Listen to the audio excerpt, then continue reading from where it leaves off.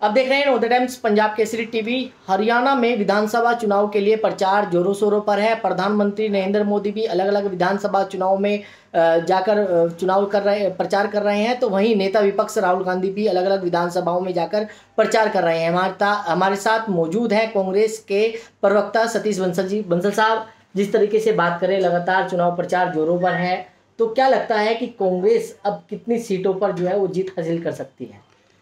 देखिए भारतीय जनता पार्टी पूरी तरीके से बुखलाई हुई है। यहाँ तक कि अगर मैं आपको बताऊँ कि जो इलेक्शन कमीशन के जो ऑर्डर हैं, राज्य सरकार के जो अफसर हैं, उनको भी फॉलो नहीं कर रहे हैं, उनकी धज्जियाँ उड़ाई जा रही हैं। अगर मैं आपको बताऊँ, सोलह नौ का एक ऑर्डर इलेक्शन कमीशन द्वारा अप्रूव मुख्यमंत्री जी ने किया, अभी तक भी उन अफसरों की रिलीव नहीं की है। क्या कारण है? कि जो ये एक्साइज डिपार्टमेंट के और जो सेल टैक्स जीएसटी के जो अफसर हैं, वहीं पर टिके हुए हैं। क्या सरकार की मंशा ये है कि उन अफसरों से कोई शराब सप्लाई कराई जाएगी या उनसे कोई और काम लिया जाएगा? ये श्रेयाम इलेक्शन कमीशन की धज्जियाँ हैं। इतनी बुखलाई हुई है भारतीय जनता पार्टी। मेरा सवाल ये है कि जिस तरीके से चुनाव प्रचार चल रहा है नरेंद्र प्रधानमंत्री नरेंद्र मोदी भी प्रचार कर रहे हैं क्या लगता है कि कांग्रेस अब कितनी सीट जो है वो जीत हासिल कर सकती है? कांग्रेस पार्टी पूरी स्वीप करने जा रही है। मुझे नहीं लगता कि ये कोई 10-12 सीटें भी भारतीय जनता पार्टी जीत पाएगी, उसका कारण है। आपने देखा होगा प्रधानमंत्री जी का भाषण हरियाणा के अंदर, लोग हंस रहे थे। अपनी 10 साल की जो उपलब्धि है, किसी भी नेता, चाहे प्रधानमंत्री हो, चाहे अमित शाह हो, चाहे उनके मुख्यमंत्री हो ये नहीं बता रहे कि हमने दस साल के अंदर क्या किया। इधर उधर की बातें कर रहे हैं। लेकिन हरियाणा की जनता, जो नौजवान, पहलवान, किसान, जो परेशान उन्होंने मन बना लिया है। बल्कि मैं तो एक चीज़ और भी कह रहा हूँ कि अब के जो मशीनें हैं ना, जो बटन दबाने जो हैं, उनको बड़ी मजबूती से भेजना, क्योंकि लोगों में गुस्सा है और वो गुस्से से बटन दबाएँगे। लेकिन गुस्सा तो आप लोगों के बीच में भी है। कुमारी सैलजा उधर नाराज़ चल रही हैं, भूपेंद्र सिंह हुड्डा अलग चल रही हैं।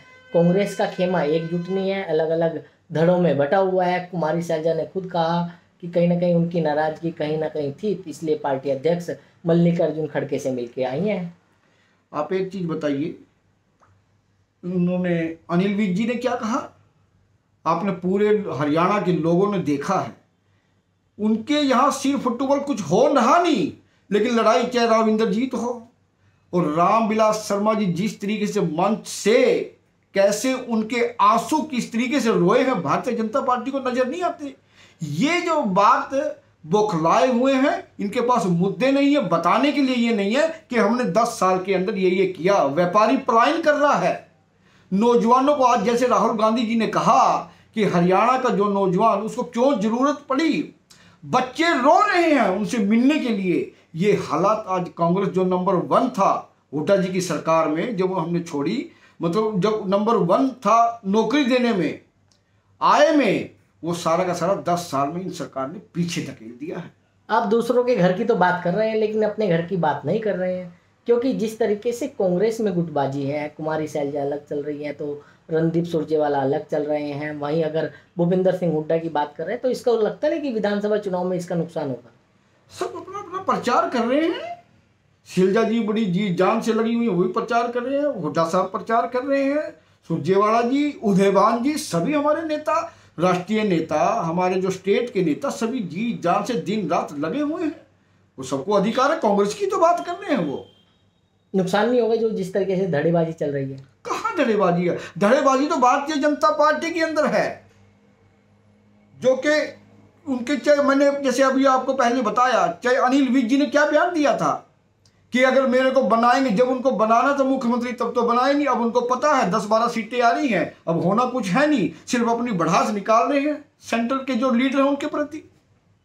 लेकिन जिस तरीके से अगर बात करें, चाहे डंकी का मामला सामने आया, क्योंकि राहुल गांधी करनाल जाते हैं, वहाँ पर वीडियो बनाते हैं, और आज फिर जब वो कहीं ना जब वो चुनाव प्रचार कर रहे थे, भाषण दे रहे थे तो कहीं ना कहीं उन्होंने डंकी का मुद्दा भी जो है, इस बार उठाया है। क्या कहेंगे? सवाल वीडियो का नहीं है।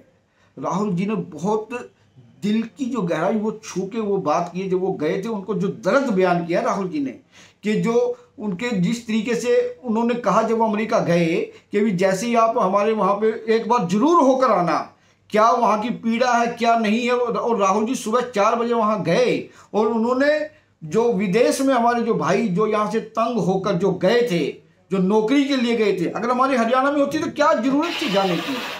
तो ये सब बातें हैं तो इसलिए हमारे यहाँ कोई धड़ेबाजी कुछ भी नहीं है।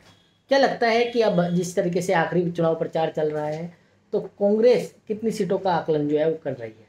कम से कम हम पचहत्तर अस्सी सीटें जीतने जा रहे हैं। और भारतीय जनता पार्टी बिल्कुल दस बारह सीटों पे सिमट जाएगी और कुछ भी नहीं है। इन्होंने हार अपनी पहले ही भारतीय जनता पार्टी ने मान ली है मुद्दे नहीं है, बताने के लिए काम नहीं है कि हमने ये ये काम किए। जब चुनाव में जाते हैं, जो सत्ताधारी पार्टी होती है, उनको काम बताने होते हैं कि हमने ये किया, हमने वो किया। कुछ भी बताने के लिए काम नहीं है। और जो ये खर्ची पर्ची की बात करते हैं ना, इनके जो मुख्यमंत्री हैं, एक मिनट के भाषण में बीस बार हुड्डा जी का नाम लेते हैं। तो इसका मतलब ये है कि ये सरकार जा रही है और कांग्रेस आ रही है। तो बिल्कुल ये थे कांग्रेस के प्रवक्ता सतीश बंसल जिन्होंने खास बातचीत की। दिल्ली से कमल कुमार कंसल नौ टाइम्स, पंजाब केसरी टीवी।